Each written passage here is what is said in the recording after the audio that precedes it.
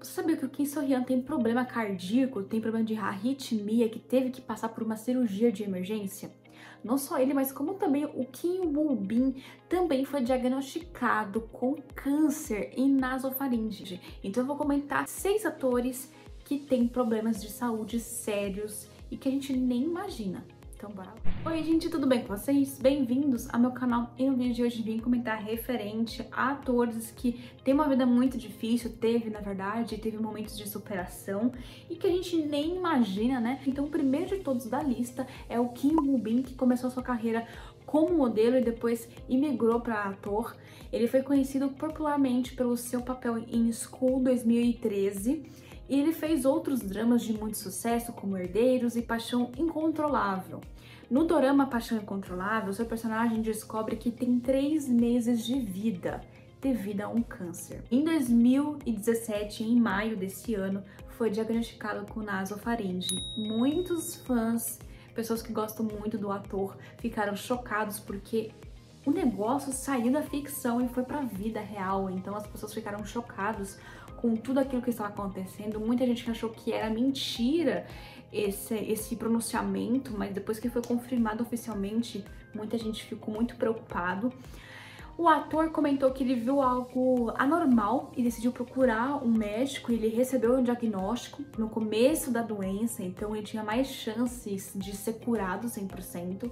Então ele começou radioterapia e começou a tomar remédios e um tempo fora, né, das mídias, não apareceu mais, para poder se resguardar e focar na sua saúde. Tem algumas imagens dele durante esse período, não dá para ver que ele estava bem magro e pálido, mas ele conseguiu curar 100% e voltar ao seu trabalho. E antes de continuar essa lista aqui, porque ainda não terminou, eu peço muito que vocês deixem um like se vocês estão gostando, porque isso é uma curiosidade muito nova para muitas pessoas, porque não faziam ideia das condições desses atores. Peço muito apoio de vocês, que o meu canal é pequeno, porque a gente tá quase chegando a 3 mil inscritos, eu sei que a gente tá na metade, mas pelo menos é metade. E me segue lá nas redes sociais também que tá saindo muito conteúdo extra. E agora vamos continuar aqui essa lista. Kim Ban. Ele ficou conhecido pelo seu drama Boys Over Flowers, que foi um fenômeno mundialmente conhecido pela qualidade da narrativa, da, da construção dos personagens. Então, além de tudo isso, né, desse drama que ele participou e tudo mais, ele fez outros dramas de muito sucesso, como por exemplo, Lendas de Nove Caldas e Love School. E em 2018, ele revelou que ele tinha artrite degenerativa.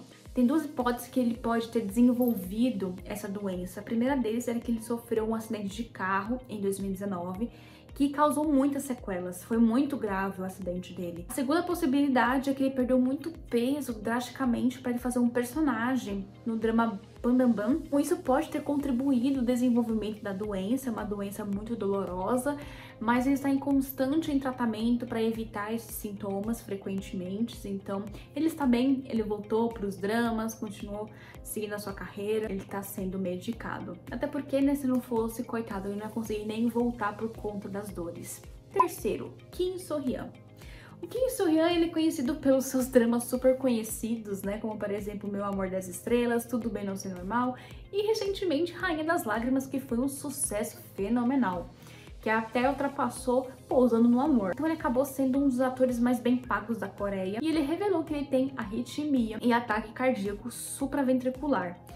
E pelos sintomas, isso atrapalha muito a qualidade de vida, porque afeta o ritmo do coração.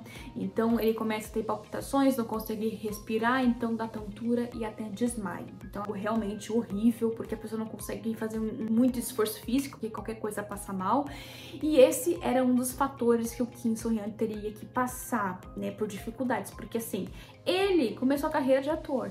E, gente, ser ator, você fica horas gravando. Você fica toda hora gravando a mesma cena até ficar boa, ou tem vários tipos de ângulos para uma mesma cena. Então, é algo bem assim exaustivo. E para quem tem esse tipo de problema, não seria algo muito bom.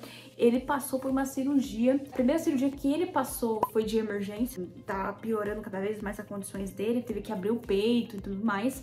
A segunda cirurgia foi mais delicada, não precisou abrir o peito, né? Então ele fez cirurgia, foi um sucesso e ele tá sendo medicado porque é um medicamento contínuo e tudo mais para ter uma qualidade de vida. Até porque ele serviu ao exército mesmo com essas condições. É insano demais a superação de cada ator com as suas dificuldades. Então quando ele saiu do exército, ele já continuou a sua carreira muito brilhantemente e todos os dramas que ele faz, faz muito sucesso. Jung Woo, ele começou sua carreira de ator em 2006 e ficou conhecido pelo seu personagem no drama High Quick, e ele fez outros dramas também como 49 Days, A Lua que Abraça o Sol e Cinderela e os Quatro Cavaleiros. Pela sua atuação, charme, beleza e tudo mais, chamou muito a atenção da mídia, né, do entretenimento ali onde ele estava inserido. E durante o seu auge da carreira, gente, em 2006, ele sofreu um acidente. Então, ele não estava sozinho dentro do carro, ele estava com o Lee Min-ho, que também é um ator. Os dois ficaram gravemente feridos. E levou um bom tempo para eles se recuperarem 100%, principalmente o Jung, porque ele ficou com ossos expostos, como por exemplo a pelvis e também o punho. Ele teve hemorragia interna na cabeça e realmente assim foi por Deus ele não ter batido as caçuletas, porque hemorragia interna no cérebro, gente, podia dar sequelas, ele podia ficar até vegetando. Ele teve que passar mais ou menos sete meses recuperando, porque lembra que eu falei para vocês que foi um bom tempo, então foi sete meses de tratamento intensivo. E a tragédia não terminou aí porque ele foi diagnosticado com aneurisma. O aneurisma pode causar um coma na pessoa e também um acidente de vascular cerebral. É algo muito incerto, porque imagina você tá vivendo a sua vida e você não sabe quando que você pode ter um ataque e morrer assim de uma hora para outra. Esse tipo de pensamento ele teve muito, ele entrou em depressão, teve ansiedade por conta disso, porque não sabia quando que ele poderia morrer. Provavelmente esse neurisma que ele tem foi por causa do acidente mas o que ele fala muito e dá para perceber é que ele quer viver intensamente, sendo muito feliz por conta dessa condição que ele tem. Não quer dizer que ele não esteja sendo monitorado, ele está sim. Mas ele entende que tudo que ele passou foi uma prova de que a vida é muito mais do que a gente quer, sabe? A gente tem que valorizar as pequenas coisas, os pequenos momentos, porque querendo ou não, de uma hora para outra a gente pode bater as botas e não ter aproveitado nada. Por isso que ele voltou às atuações, ele continuou fazendo a sua carreira. Até agora eles são um exemplo. Cada um na sua condição, cada um na sua história. E isso inspira muitas pessoas. Park Sundam.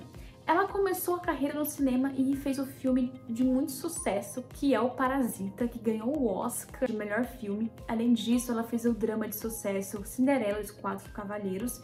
Tá vendo que bate com outro ator que eu falei aqui, né? Então dá pra ver que eles estiveram juntos ali no mesmo elenco.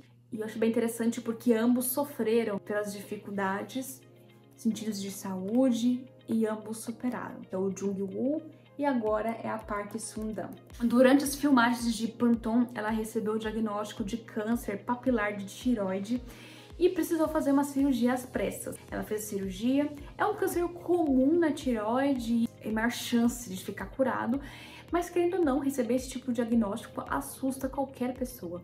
Então ela fez a cirurgia, ela fez um regime de tratamento para poder garantir a sua recuperação completa e ela ficou longe da mídia, claro, para focar na sua saúde. E depois ela foi voltando aos poucos para atuação mas continua sendo monitorada e também cuidando da sua saúde, né? Tomando os medicamentos, tudo certinho. Ela contou em algumas entrevistas que foi a fase mais difícil da vida dela, mas deixou ela mais forte, entender que ela tem que aproveitar cada minuto da sua vida. Porque assim, né, gente, a gente, a gente só entende que a vida é um sopro quando a gente passa por dificuldades, algumas coisas que acontecem na nossa vida que traz um baque muito grande, e a gente começa a pensar, poxa, meu, eu poderia dar mais valor nisso do que ficar só reclamando, porque é o costume do ser humano reclamar mais do que agradecer. Então eu acho bem interessante tudo isso que eu estou falando para vocês, pra gente refletir também, mesmo que a gente não tenha problemas de saúde graves e tudo mais, mas a gente começar a refletir que a gente podia aproveitar mais as pequenas coisas. Então eu acho isso bem interessante.